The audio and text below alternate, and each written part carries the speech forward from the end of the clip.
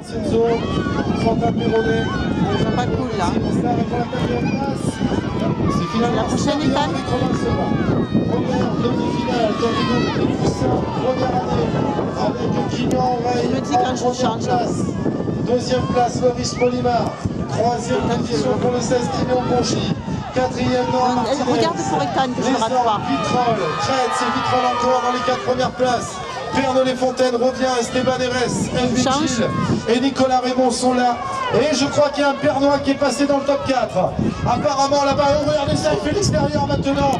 Vitrolais, énorme retour du pilote de Perne les Fontaines qualifié en finale. Hop là. Kylian Rey, Loris Polimar et ce numéro 57, Esteban petit Eres qui nous a impressionné.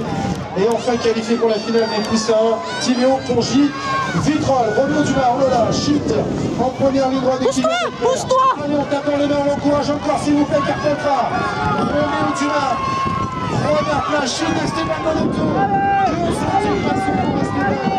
Intérieur, glissade, Romeo Dumas, les deux pilotes.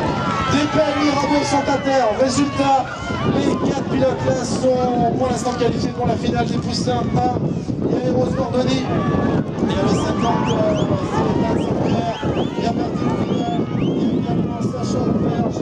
Oh là là, quelle Roméo Dumas, Couto, ça peut arriver aussi.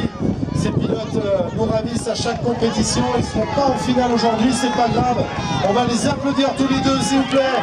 Roméo Dumas, Esteban Moneto, est qualifié pour la finale. Et jolie prestation